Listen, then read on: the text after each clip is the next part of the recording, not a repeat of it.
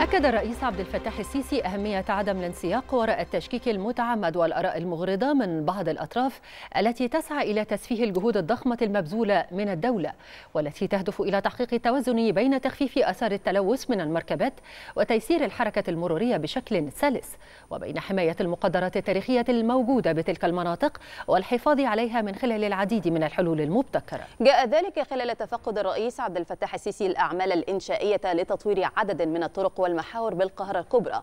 وأوضح المتحدث باسم رئاسة الجمهورية بأن جولة الرئيس السيسي شملت تفقد أعمال تنفيذ محور ياسر رزق فضلا عن تفقد سير العمل في محور محمد عزة عادل. كما قام الرئيس السيسي بالاطمئنان من العاملين في المواقع المختلفة على سير العمل وكذا الاستماع لآرائهم.